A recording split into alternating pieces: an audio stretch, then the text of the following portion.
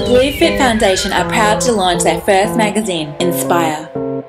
Legend Hayley Lewis talks swimming, fitness, and the biggest loser, Kokoda. Find out how Bluefit is facing the challenge. Eamon Sullivan and Stephanie Rice share their secret to success. Where is your child now? The article that every parent should read. Plus, we give you 18 tips to stay motivated. Inspire is a not for profit magazine dedicated to the thousands of patrons of Bluefit Leisure's health clubs, aquatic centres, swim schools, and golf courses.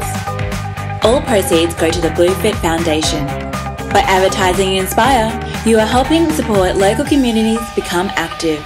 For more information, visit us on bluefitfoundation.com.au.